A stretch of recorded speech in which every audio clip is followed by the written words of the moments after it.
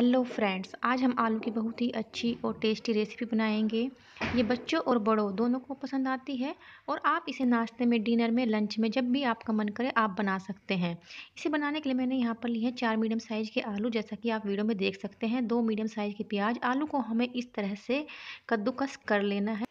या फिर एक ग्लास या बाउल की हेल्प से जिसका बोट, जो दली है, वो फ्लैट हो, उसकी हेल्प से भी आप मैश कर सकते हैं। लेकिन अगर आप ज़्यादा क्वांटिटी में बना रहे हैं, कद्दूकस करने से, ये अच्छे से मैश हो जाता है और हमारा काम भी जल्दी हो जाता है। अब मैंने जो प्याज ली थी उनको भी बारीक चॉप कर लिया, इसी के साथ मैंने डाला है इसमें धनिया पत्ता, उसको भी मैंने बारीक चॉप कर लिया है, इसी के साथ हम डालेंगे इसमें अपने टेस्ट के अकॉर्डिंग मसाले में अब सबसे पहले डालेंगे इसमें नमक, लाल मिर्च और धनिया। आप चाहें तो लाल मिर्च को स्किप करके हरी मिर्च भी डाल सकते हैं दोनों डाल सकते हैं।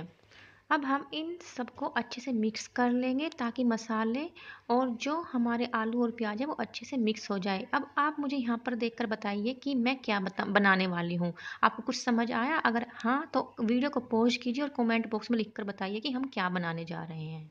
ये देखिए, हमारे मसाले अच्छे से मिक्स हो चुके हैं। अब हम इन्हें मिक्स करके एक तरफ़ साइड में रख देंगे। इसी के साथ मैंने लिया है यहाँ पर नॉर्मल गेहूँ का आटा जिसे मैंने गूँथ करके पहले ही रख दिया था। अब तो आपको देखकर समझ आ ही गया होगा कि हम क्या बनाने वाले हैं। हम बनाने वाले हैं आलू और प्याज का पराठा। कुछ लोग इसमें बहुत सारे मसाले जैसे आमचूर और गर्म मसाला भी डाल सिंपल ही बनाती हूँ क्योंकि सिंपल का टेस्ट भी अच्छा आता है साथ ही एसिडिटी वगैरह की भी प्रॉब्लम नहीं होती है। आप एक बार इस तरीके से ज़रूर ट्राई कीजिएगा। अब हमें एक लोई लेनी है और उसको इस तरह से जैसे कि वीडियो में दिखाया जा रहा है इस तरह से उसमें बाउल की सेव दे देनी है ताकि इसमें हम जो हमने आलू का मसाला तैयार किया है, वो अच्छे से फिल कर सके।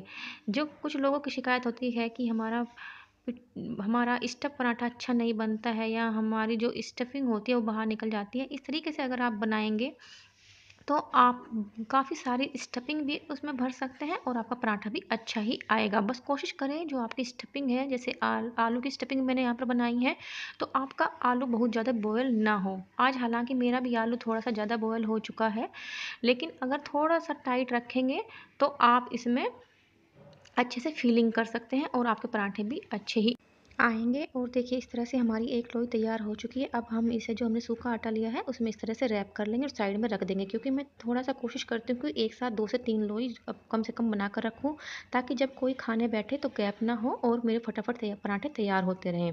इसी के साथ मैंने दूसरी लोई भी तैयार करके दिखाती हूँ। आपको उसी तरह से एक आटे की लोई ले लेनी है जिस साइज़ के भी आपको पराठे बनाने मैं कोशिश करती हूँ थोड़ी छोटी लोई लूँ और मेरी, मैं स्टफिंग इसमें ज़्यादा भरना पसंद करती हूँ, इसलिए मैं स्टफिंग ज़्यादा भरती हूँ और आटा कम लगाने की कोशिश करती हूँ।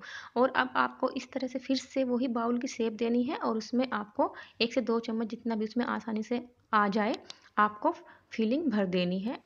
और उसके बाद आपको इसे चारों ओर से बंद करते हुए, जैसे कि वीडियो में दिखाया जा रहा है, बंद कर लेना है और इसे लोहे की सेप दे देनी है।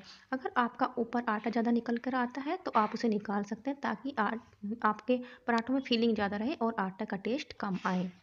और देखिए, हमारी दूसरी लोई भी तैयार हो चुकी है। इसे भी हम सूखे आटे में रैप कर लेंगे और साइड में रख देंगे। इस तरह से करके मैंने, आप देख सकते हैं, तीन लोई तैयार कर ली है। अब मैं इनमें से एक लोई को लूँगी।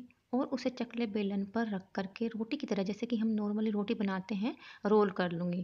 पहले हमें थोड़ा सा बेलना है, जब हमें लगे कि अब थोड़ा सा चिपकना शुरू हो गया है, ये एक्सपीरियंस ये कुछ चीज़ें एक्सपीरियंस से आती है, उसके बाद आपको रोटी में फिर से सूखे आटे में रैप कर लेना है और उसके बाद हमें उसे फिर से बेल लेना है, जितने साइज़ का हम पराठा बनाना चाहते हैं। बस ध्यान रखें कि आपका पराठा मोटा ना रहे। इसी तरीके से हम बाकी के भी पराठे बना लेंगे। अब इसी के साथ मैंने गैस पर तवा गर्म होने के लिए रख दिया था। तवा हमारा गर्म हो चुका है। अब हम इस पर डालेंगे पराठा जो हमने बेल कर रखा था और इसको अच्छे से सेक लेंगे। जब तक ये सीखेगा तब तक हम दूसरा पराठा भी बेल कर तैयार कर सकते हैं। अब जब पराठा इस तरह से, जैसे कि आपको वीडियो में दिखाई दे रहा है, उस पर गोल्डन चिट्टियाँ पड़ जाएँ, तब आपको उसे टर्न कर देना है। और उसके बाद पलट कर देख लेना है कि नीचे से पराठा अच्छे से सीखा है नहीं। जब वो दोनों तरफ़ से अच्छे से सीख जाए, आपको उस पर हल्का सा ऑयल लगाना है।